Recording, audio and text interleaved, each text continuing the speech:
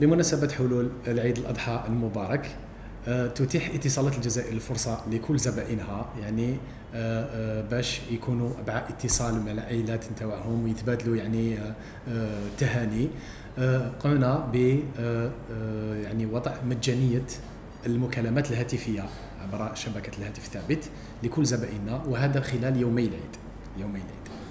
ومع هذا كذلك زدنا باللي الناس اللي عندهم يعني خلاص لهم الاشتراك تاعهم أثناء يومي العيد راح يكون هناك استمرارية خدمة الإنترنت. يعني ما يكونش فيها انقطاع الاشتراك. يعني من بعدها يقدر الزبون آه، يروح يستعمل آه، كاع الوسائل يعني الدفع الإلكتروني ولا التعبئة الاحتياطية ايدوملي ولا عن طريق البطاقة التعبئة وكذلك من عن طريق آه، بواسطة الوكالة التجارية.